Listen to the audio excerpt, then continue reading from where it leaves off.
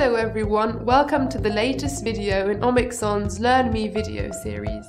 My name is Adil Yuhosh and I'm going to take you through this training video today. In this short video, I am going to show you how to upload a license and other administrative functions in HLA Twin.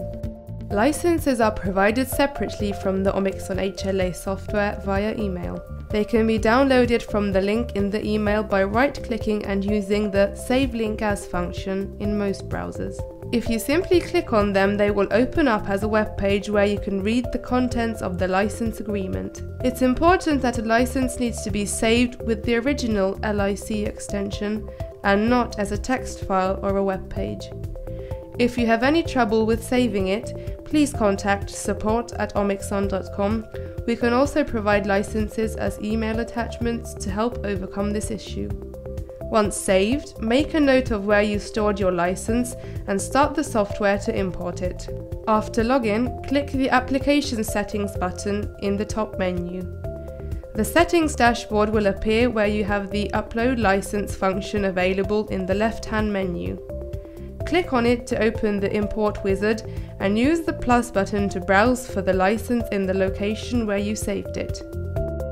A message should inform you about the successful upload and you can observe the available credits and their validity right away under the license section. The settings dashboard also allows you to preset the IMGT HLA database that will be used for the HLA typing.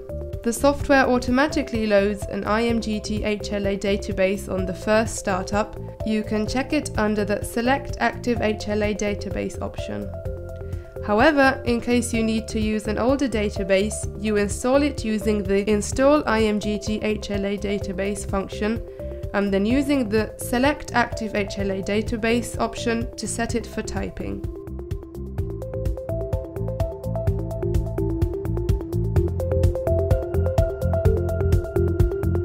It's important to note that this is a global setting.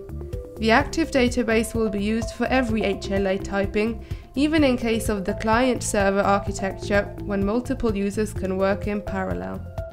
I hope you found this short video useful. If you have any questions, please contact us at support at omixon.com or place an inquiry with our sales team at sales at. For more videos, please see the Omixon YouTube channel. See you next time.